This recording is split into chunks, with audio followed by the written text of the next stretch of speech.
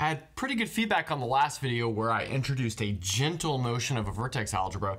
And I was really excited because potentially more people saw that video than people had ever heard of vertex algebras in the past. So that's pretty cool. Maybe we can make this field of study really popular doing something like this. So I also want to point out that since last time I found this other YouTube channel that's going through a very similar series um, involving vertex algebras from a string theory or physicist point of view. So I'll put some information about that on the screen right now and it's going to be linked in the description. Okay, so now in this video, we want to talk about the why of vertex algebras. So they're quite complicated. Why would someone define these to exist in the first place? We're going to look at a couple of reasons, but before we do that, I want to recall what our loose idea of a vertex algebra was from the last video. And I'll just say it like this. A vertex algebra is very loosely a simultaneous generalization of a commutative associative algebra and a Lie algebra. And so let's recall that there are infinitely many ways to take the product of two elements, and those are indexed by the integers. So here we could have the negative first multiplication of u and v, which we just denote with this subscript minus 1 here. And that's actually the, mul the multiplication that is closest to endowing this with the structure of a commutative associative algebra. And actually, in some cases, you do get a commutative associative algebra, um, but those cases are generally not that interesting. Then next, this zeroth multiplication, which we denote like U0V, that is the closest that endows this with the structure of a Lie algebra. So in other words, that operation is very close to being a Lie bracket. And then if you go up in that direction to U1, U2, so on and so forth, it's a further generalization of the Lie bracket. And then if you go down in that direction, it's like a further generalization of this commutative associative multiplication.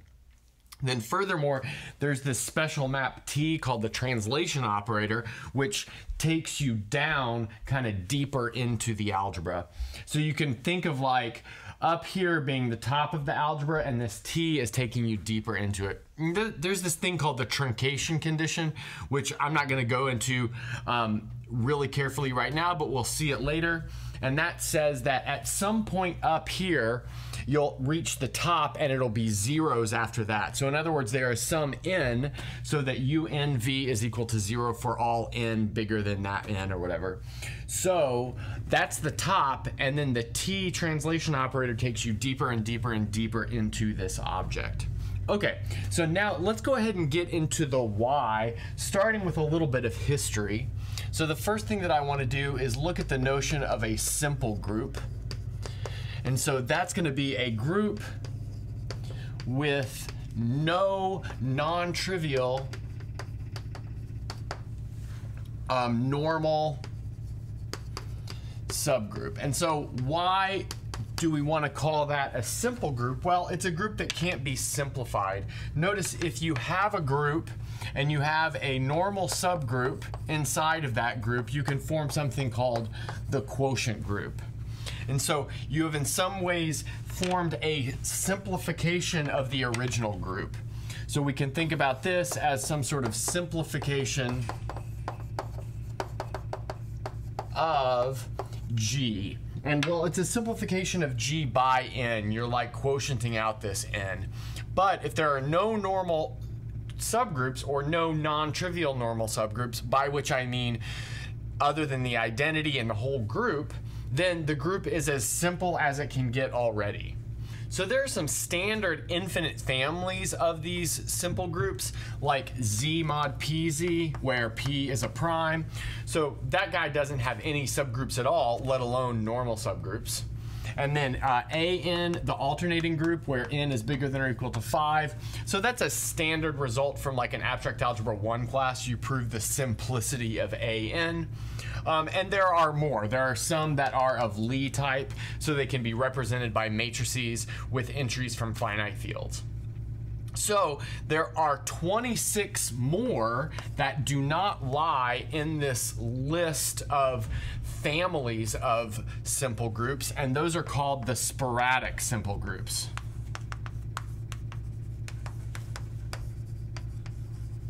And I guess I should say here that we're talking about finite simple groups. Um, and obviously, if we're talking about finite simple groups and there are 26 sporadic finite simple groups, then there must be a largest one. And that largest one is called the monster. And so it's generally denoted by this like M, blackboard bold M.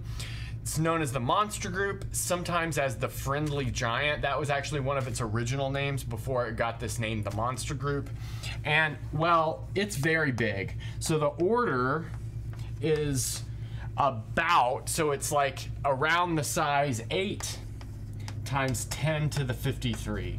So you can Google it real quick and see the exact order as a prime factorization. That's pretty easy to do, but needless to say, it's a very, very large group. And you might like think, well, okay, well, how can we describe it? There's like a bunch of different ways to describe it. And maybe there is one very natural way to describe it, and that is via vertex algebras, but we're not quite there yet. So, for any group, there is something called a representation of a group, and there are these so called irreducible representations. And the irreducible representations have certain dimensions. So if you look at the irreducible representations of the monster group, you get the following dimensions for those irreducible representations. So you get one, and then the next one is uh, 196,883. And then the next one is, let's see, two, one, two, uh, nine, six, eight, seven, six and then maybe we'll write one more down. And so that last one, so that's like 842 million and then some other stuff. So that is one fact. And then the next fact is you can take this modular form. So it's called the J function and it has a so-called Q expansion. And this is a type of function that's like really important for analytic number theory. And if you do its Q expansion, it looks like this. So it's first 1 over q plus 196,884q. So notice that's going to be one more than 196,883. And then there are some more. So I'll add two more terms. Okay, so I've written two more terms and I've given some names to these dimensions of the irreducible representations of the monster. So R1 is one, R2 is this 196,000 one, R3 is the next one, and R4 is the next one. Now, it doesn't look like there's much link between the monster group and this J function yet, but if we notice that the coefficient of this thing is 1, which is R1, then we can notice that the coefficient of this thing is R1 plus R2. Notice that's one more than 196,883. So that's like a trivial thing. And then the next one is going to be the sum of the first three. So R1 plus R2 plus R3. And then finally, this next one, it's not quite the sum of the first four, but it's going to be 2 times the first one plus 2 times the second one plus R3 plus R4. So there is some kind of way to combine the representations or the dimension of the representations of the monster group in a linear way that you can get the coefficients of this J function. So Thompson looked at this and he said, oh, well, I mean, obviously this must mean that there is some sort of connection between the monster group and this number theoretic object, this analytic J function. And John Conway said, no, that's just moonshine. You're crazy. But it turns out there was, and that's the next part of our story. So here's a picture of that connection that we were hinting at on the last board.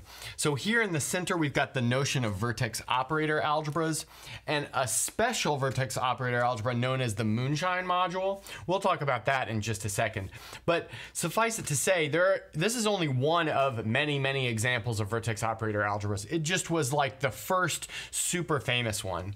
And it serves as a bridge between all of these subjects that don't look very connected. So, first is the subject of group theory, really finite group theory, and the monster group, like we discussed before. Next is this kind of geometric thing called the Leech lattice. So that's a 24 dimensional lattice. It was recently shown that it is the lattice that allows for the closest sphere packing in 24 dimensions. So that's interesting as well. Next, there's this analytic number theory object, the analytic J function. So that's a modular form. Remember, modular forms were super important in proving Fermat's last theorem. And then next, there are these things from physics. So vertex operators for a bosonic string. And so that's actually how these things were motivated into definitions in the first place. There were some notions of vertex operators looming around in the string theory literature in the 80s. And Richard Borcherds came along and said, hey, I'm going to take this and make a careful mathematical description of what's going on. And that ended up birthing the subject of vertex operator algebras. So now let's just talk about this a little bit. So Frenkel, Lepowsky, Meurman, so FLM, they wrote this book, Vertex Operator Algebras and the Monster. And here was where they constructed this vertex operator algebra called the moonshine module, which is given by this V natural symbol. And the basic idea of this is you take a lattice, and that lattice is the Leech lattice. So the one that I was just talking about up there. And then from that, you form something called a lattice vertex algebra. So, you know, I intend to take this pretty far. So we'll look at the lattice construction. It is going to take a while, but we'll get there eventually. So you form this lattice vertex algebra VL.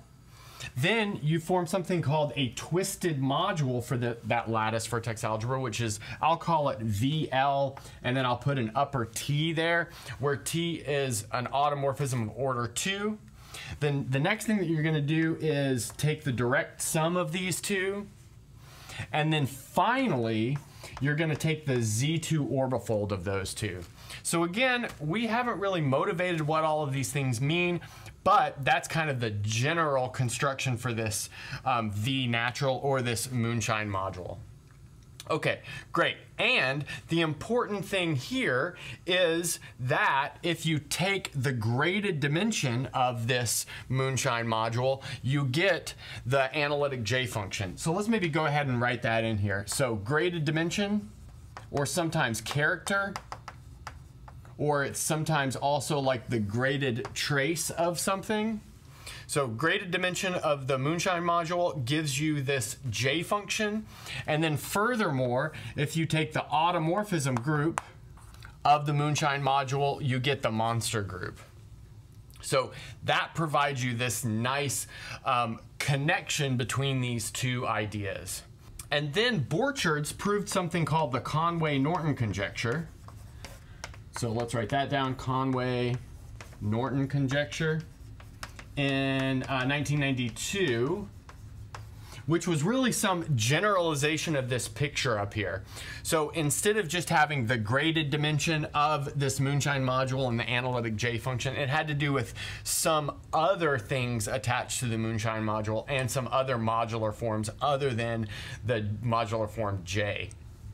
And in fact, this netted him the Fields Medal in 1998. So that's like a nice historical spot for why vertex algebras were created in the first place. Maybe I'll go ahead and clean this up and we'll look at another nice application. Okay, so after vertex algebras were exploited to prove the Conway-Norton conjecture and their connection with the monster group and the J function were analyzed, then we saw that they had some more uses, and for one is the connection between Lie algebras and Rogers-Ramanujan type identities, like the Gordon-Andrews identities and other uh, similar ones. So the basic picture goes like this. You start with a suitable Lie algebra, and then you form a vertex algebra that has the structure of a G hat module, and so that's a module of the corresponding affine Lie algebra. And then next, you can take the graded dimension of that or the character or whatever, and you get something that looks like one side of a Rogers Ramanujan identity or similar type identity, like the Gordon Andrews identity or so on and so forth. And there's actually been a lot of work in this, like fairly recently, including with some twisted modules. And so maybe all of this started out with just taking the very simplest um, Lie algebra, which we talked about last time, so SL2. And then you go up here and look at the vertex algebra associated to the level 1 SL2 module and I guess I should say SL2 hat module. So that's a pretty simple vertex algebra. We can maybe look at that in um, a forthcoming video.